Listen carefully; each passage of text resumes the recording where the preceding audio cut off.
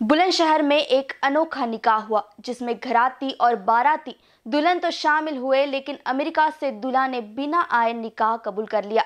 दरअसल अमेरिका में कोरोना की दवा पर रिसर्च कर रहे वैज्ञानिक डॉक्टर हादी हसन का निकाह शनिवार की रात सियाना की रहने वाली कहकशा से ऑनलाइन के द्वारा कराया गया।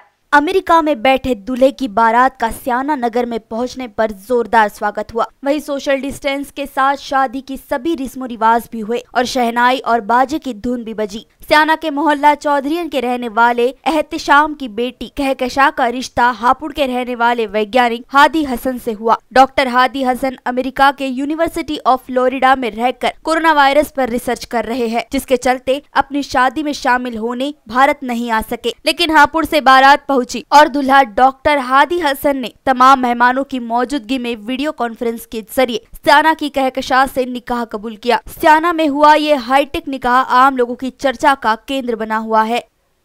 कोरोना की जो वबा पूरे दुनिया में फैली हुई है, जिससे दोबारा से जो है ये और ज़्यादा इसने रूप अपना ज़्यादा बड़ा कर दिया है, जिससे लोगों की बहुत मौतें हो रही हैं।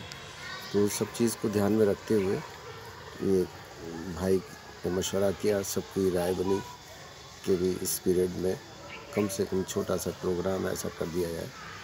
और इसमें ऑनलाइन इसीलिए किया कि लोगों को भी सहूलत हुई इसमें और ज़्यादा लोग भी नहीं शरीक कर सके हम लोग, अपना घर घर के लोग शामिल होकर बीस पच्चीस लोग जो हैं बारात में आए और लड़का वहाँ ऑनलाइन हमें उस पर मिल गया।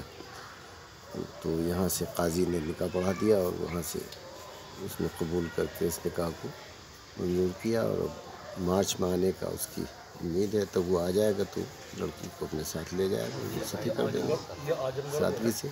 बुलंदशहर से जावेद खान की रिपोर्ट।